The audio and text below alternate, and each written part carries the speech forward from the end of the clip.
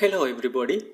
Today in this video I am going to tell you how to access the old Civil 3D target mapping window with newer versions of Civil 3D like 2023. Uh, from 2022 onwards Autodesk has used a newer window for or newer target mapping window uh, which is completely different from the old target mapping window.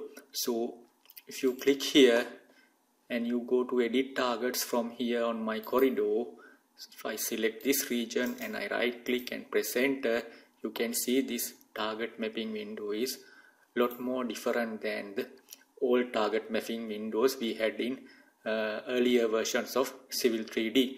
Uh, this target mapping window is more sophisticated and easy to use but sometimes some of you might not liking that one because you have used the old target mapping window so much uh, times than this newer one.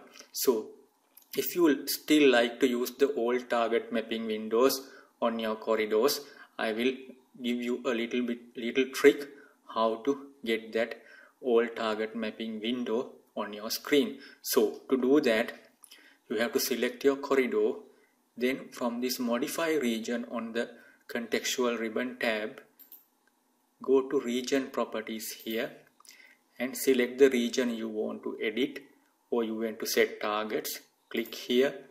Then there you have one row called target. There you can click this button here.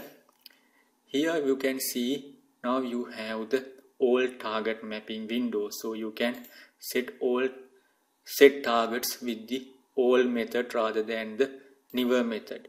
So that is how to use the old target mapping window in newer versions of Civil 3D. Hope you will find this interesting.